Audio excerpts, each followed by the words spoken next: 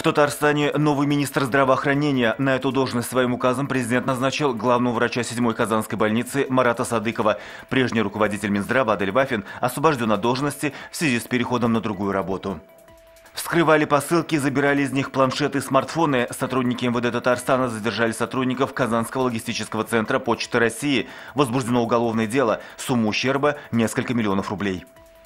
Француз признается в любви Казани. В столицу Татарстана приехала съемочная группа программы «Россия. Моя любовь» телеканала «Культура». Ведущий передачи француз Пьер Кристиан Браше за пять дней познакомится с культурой и обычаями региона.